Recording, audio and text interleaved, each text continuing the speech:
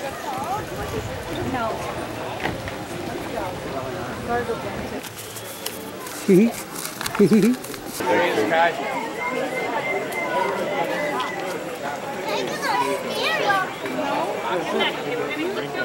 you. I know. Oh, yeah. So pretty.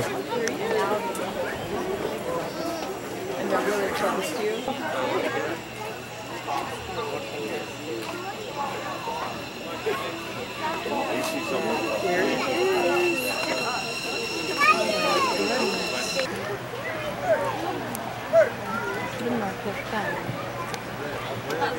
You're gonna do narration?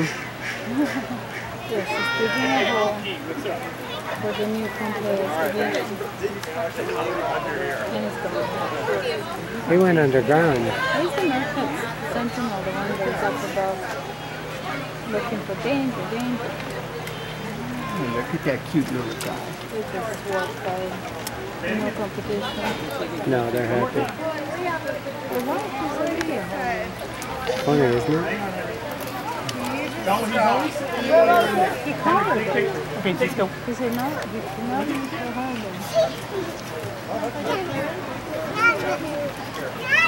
But you're. He's coming nearer. Look, look, look. He's coming nearer. Oh, he's the sentinel. I was wondering.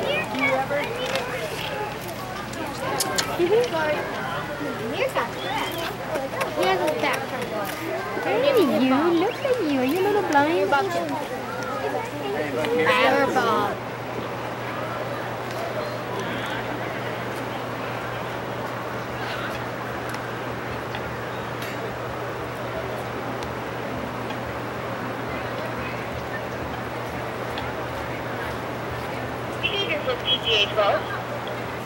How do you think about working at the San Diego Zoo as a zookeeper? Good life?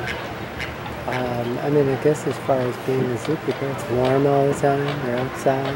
Best zoo in the whole.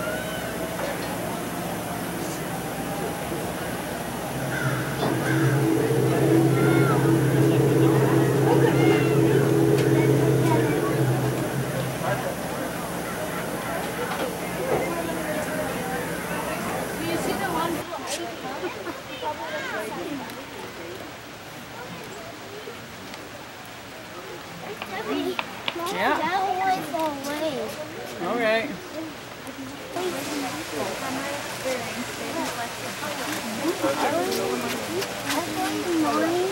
70 miles an hour, but only for about a thousand feet. And then it's completely gassed out for at least a half an hour so their brain doesn't overheat.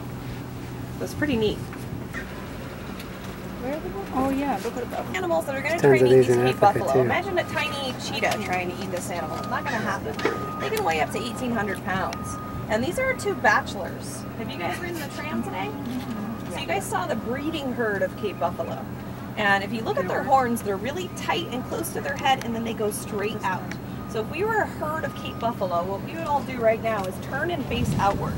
And all those horns would be pointed toward that pride of lions trying to attack us. And we would put our babies in the middle. We would also put any sick or injured animals in the middle. And out in Africa in the savannah or any animal world, that's rare. It's pretty amazing. Very unique. You guys have 10 minutes tonight. You can watch the number one most viewed animal video ever called Battle at Kruger. Oh yeah, I think I've seen K R U G E R. Just average people out on a safari.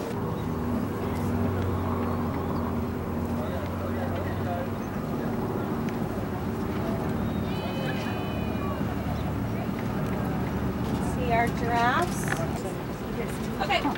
Okay. it. Does not get poisoned by the ants because there's a spiritual.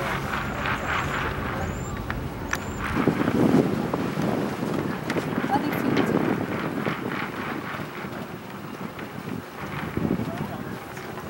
feet. Good rhino. What is the name of those birds? So in Africa, like there are two the- different kinds of rhinos. There are black rhinos and there are white rhinos. Typically, their upper and lower lip. They have wide or flat upper and lower lips. So the one who's walking around, you guys see that wide, flat lip? Oh, yeah.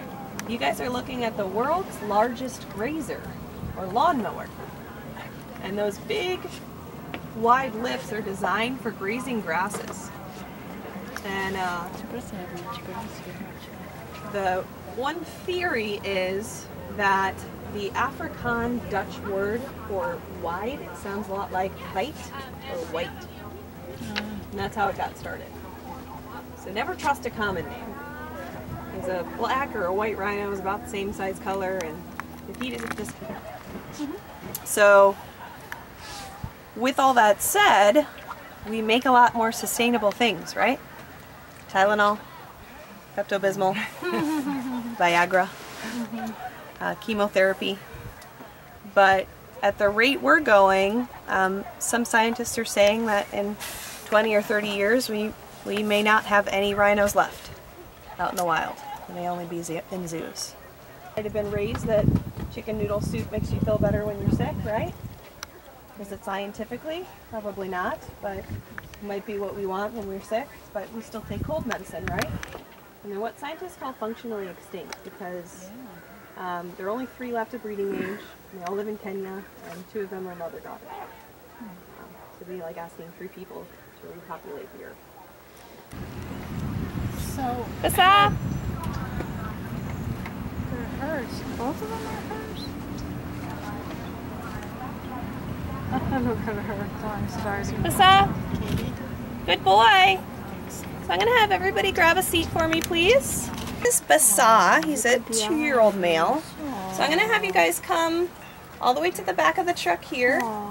You're gonna hide in your right hand, and you're gonna feed him with your left hand. Nice, sweet, gentle boy. Oh. Oh, so cute. You're hiding in your right hand, feeding with your left hand.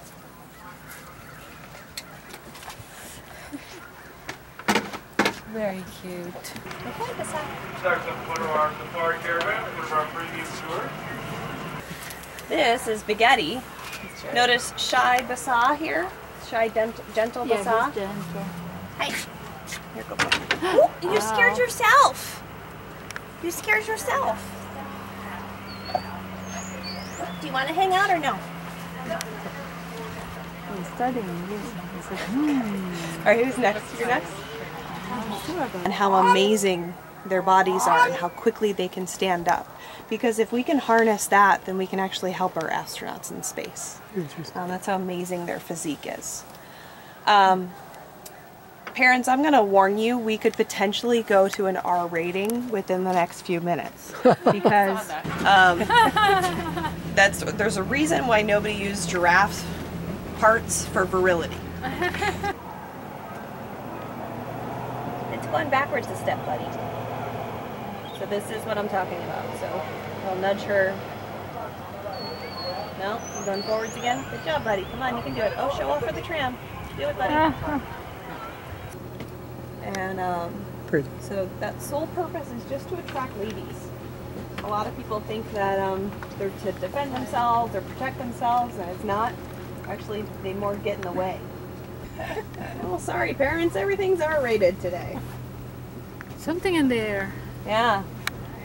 Something in the air. How to feed a rhino. What you want to do is take a piece of apple. You're going to go over, not through the slats. Just place it right in his mouth. Takes it right from you. Then you can oh reach on out, touch his face, touch his horn. I. You can touch Just like this. It won't hurt you. Wait, but just big of a mouse asking for food. Don't wait. Don't be shy, guys.